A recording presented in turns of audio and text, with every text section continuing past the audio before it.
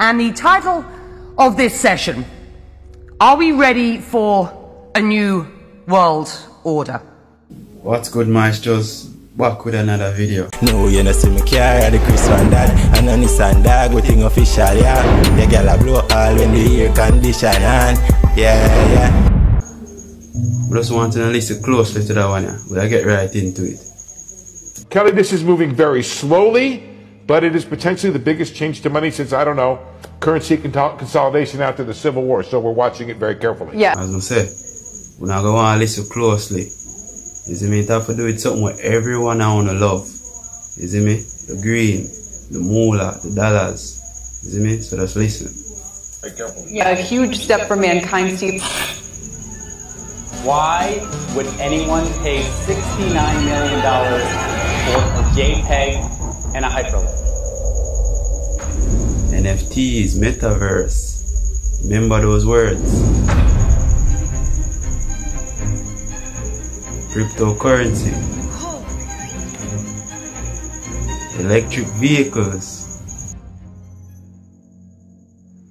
Well, the organisers here are nothing if not ambitious. This is, I think you will agree, a daunting subject for discussion at just after 9 a.m. on a Wednesday morning here in the relative calm of Expo 2020. But tackle it we must, because I believe what is clear is that we have hit an inflection point. We are certainly living in a unique age of uncertainty and volatility in global affairs. Basically, what that means is times are changes. Ch- times are changing. So if you're not prepared to change with the time, you will be left behind. Keep listening. looks like the grim cloud of fascism is spreading over the whole world, inexorable. Well, that was 9th February They are holy, 1939. man. Haven't changed my opinion since. He's It's on the just brink of death. gotten worse. This year is on pace to set a record for ice melt here in the Arctic.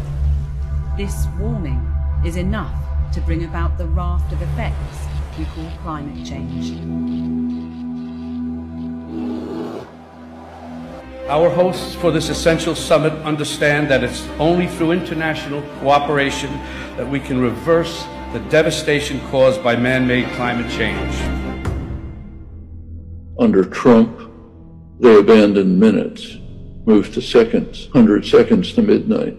That's where it is now. Because the threats are accumulating. We're approaching the most dangerous point in human history. Nothing like it before. We are now facing the prospect of destruction of organized human life on Earth from environmental destruction and not in the remote future. We are approaching irreversible turning, turning points which cannot be dealt with any longer. I don't think we're going to see a period of depression unless the virus takes a real turn for the worse.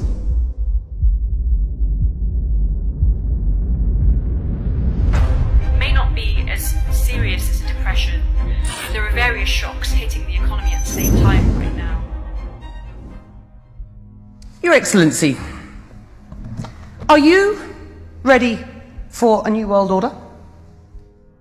And so I think we have to go deeper. And it's not about the US versus China. It's about what underpins You've seen, you've heard that phrase on my page before. New World Order. Pay attention. a world order is always the financial system. I I was very privileged. My father was an advisor to Nixon when Order, finance, money.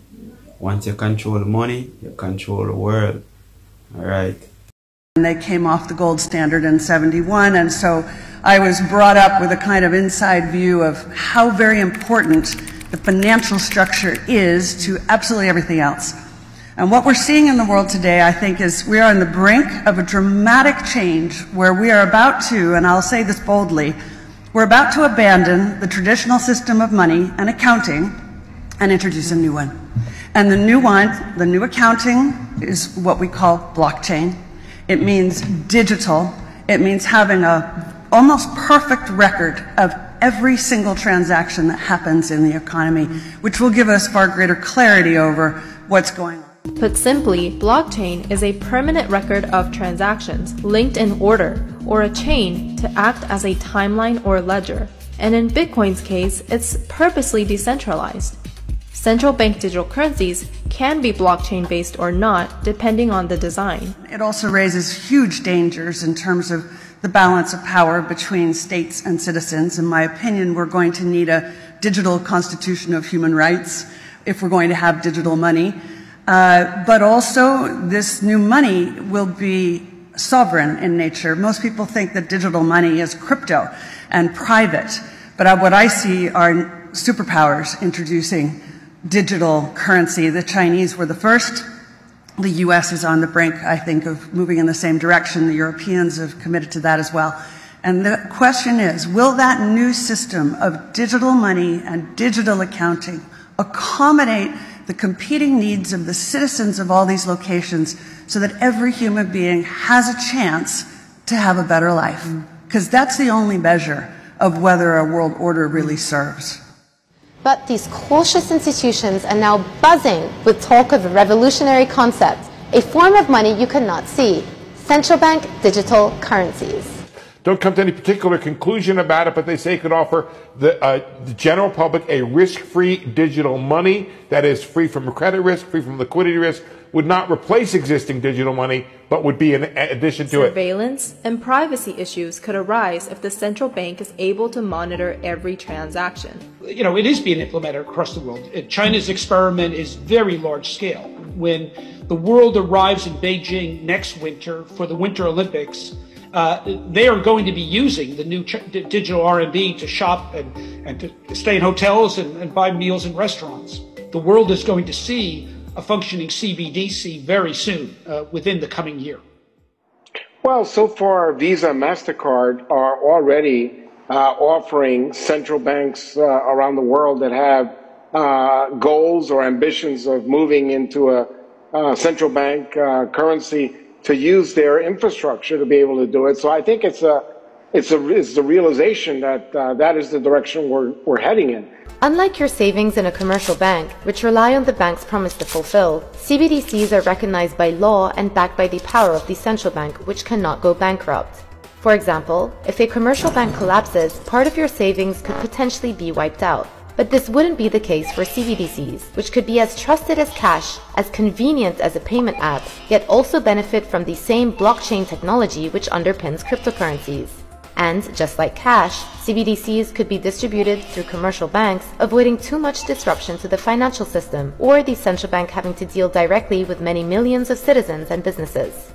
In order to participate in Beijing, the Chinese government is requiring everyone to download an app called My 2022. Athletes, journalists, spectators, everyone there must put this app on their phone.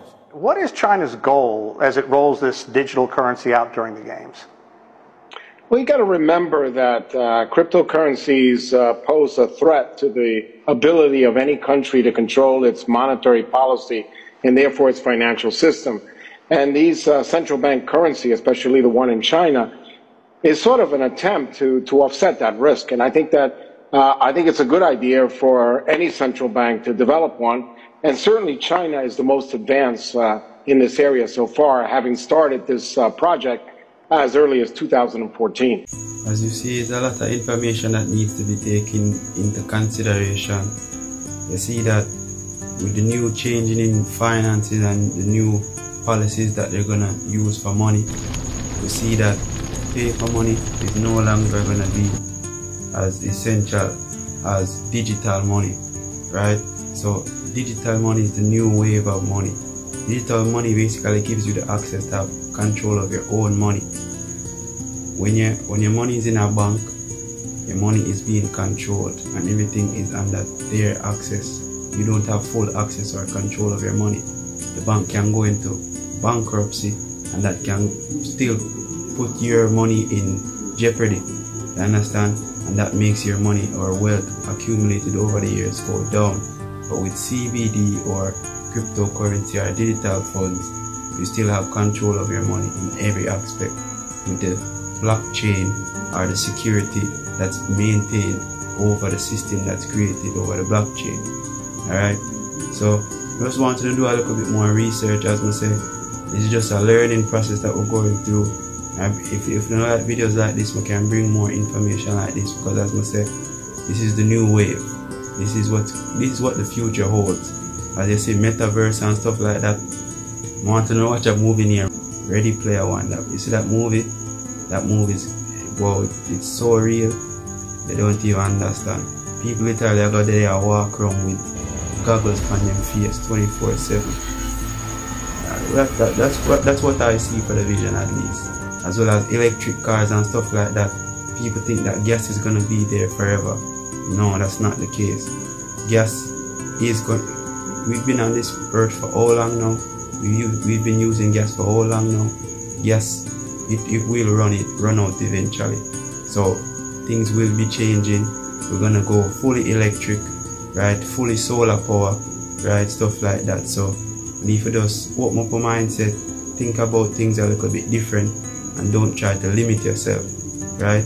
So we know there's a lot of people out there who watch these kind of videos and understand the concept and the changes that's going to be taking place very very soon. But I'm hoping you enjoy this video. It's been your boy Maestro. We'll be back with more videos like this and we'll see you on the next